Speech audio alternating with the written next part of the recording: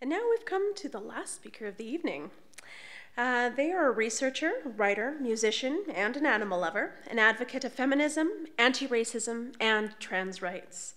They blog about gender, singing, and current events at genderqueerme.com. Please give a warm welcome to Ari Agha.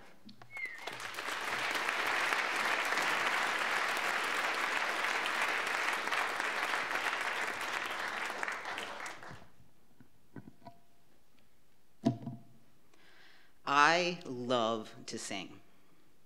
I started singing when I was 10 years old and haven't stopped yet. I've sung in church choirs, university choirs, queer choirs, Renaissance choirs, gospel choirs, and chamber choirs. Through singing, I've traveled the world and met some of the best people this side of heaven. When you sing, you use your body to produce sound. You are literally your instrument. Technique matters, but ultimately the art comes from your body, not an external implement. You may think then that biology determines your fate when it comes to singing, but I'm not so sure. When I was born, a doctor looked at my genitals and said, Congratulations, it's a girl. I was assigned female. I didn't think much about my gender identity as a kid. In university, I learned not everyone felt like their assigned sex was a good fit and that some people transition from man to woman or vice versa.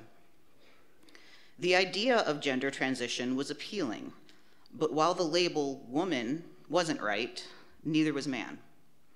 I knew I wasn't a woman, but I thought the only other option was man, and I knew that wasn't right either. In my 30s, I learned there were more than two genders, and everything fell into place. My existence finally made sense it was possible to be not a woman and also not a man. I learned other people felt this way too, and they called themselves genderqueer. Even though I am not a man, I felt uncomfortable with parts of my body that other people labeled female and wanted to change them. So I started thinking about taking testosterone, or T. This was a hard decision because we know very little about how testosterone impacts trans people's singing voices. To understand my worry, let's start with anatomy. Vocal folds are mucous membranes that stretch across the larynx, which is located at the top of the trachea. We produce sound by bringing our vocal folds together and passing air through them. We make higher and lower sounds by changing the tension in our vocal folds. Pitch is also impacted by the thickness and length of our vocal folds. People assigned male tend to have longer and thicker folds and therefore lower voices, like Barry White, for example, while people assigned female have, tend to have shorter and thinner folds and therefore higher voices, like Mariah Carey. Children's voices do not vary by assigned sex, but when children assigned male go through puberty, their cords get thicker and longer, and their voices get deeper. When people assigned female take T, our vocal folds also get thicker and our voices get lower, but there are important differences too. While the vocal folds of trans people who take T grow, their containers, our larynges, do not grow and are not as flexible as those of adolescents assigned male. So there may be less room for our folds.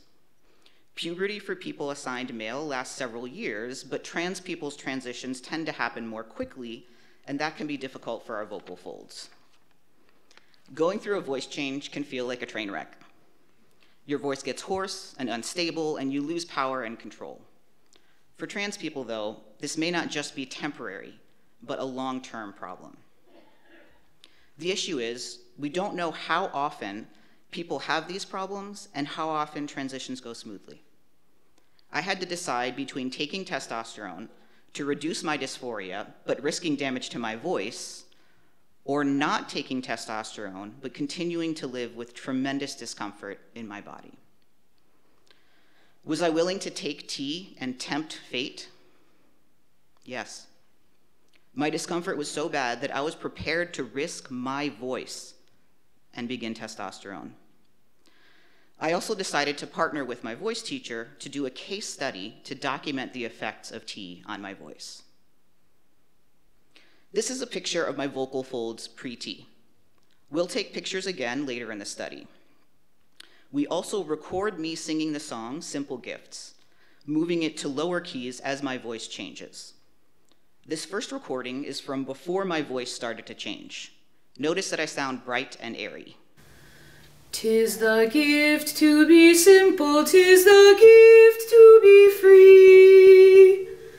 Tis the gift to calm down where you ought to be. Next up, we'll hear just the first few notes from the pre testosterone clip, and then a clip from after I had been taking testosterone for 16 months. Notice that both of these clips are in the exact same key, but the timbre of my voice is darker and richer than it was before in the second clip. Tis the gift to be simple, tis the gift to be free. Tis the gift to be simple, tis the gift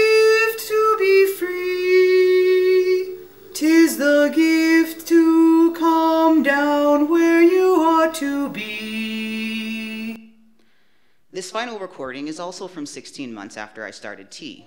It shows that I'm able to sing lower, too. The key is four and a half steps lower than before.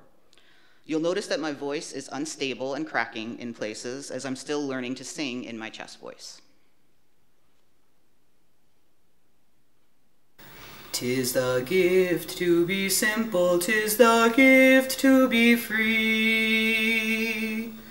Tis the gift to come down where you ought to be.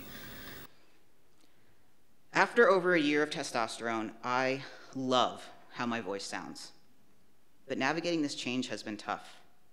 My register changes are unstable, and I have less power, stamina, and control than before. But I'm cautiously optimistic that these problems will keep improving with practice and over time. I'm glad that I did not leave my fate up to biology.